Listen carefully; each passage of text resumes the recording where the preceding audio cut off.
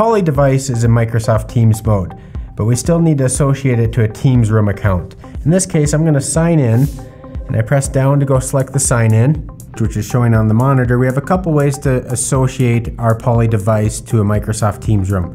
First is we can enter the email, or phone number to the account, or we can sign in from another device. If I go to sign in from another device, it's going to ask me to go to a web page and enter a specific code to associate there. But I'm going to do an email address in this case. So when I go back, it bounces back up with the email address and virtual keyboard to enter. So I'm going to go through the little steps here, get my room associated.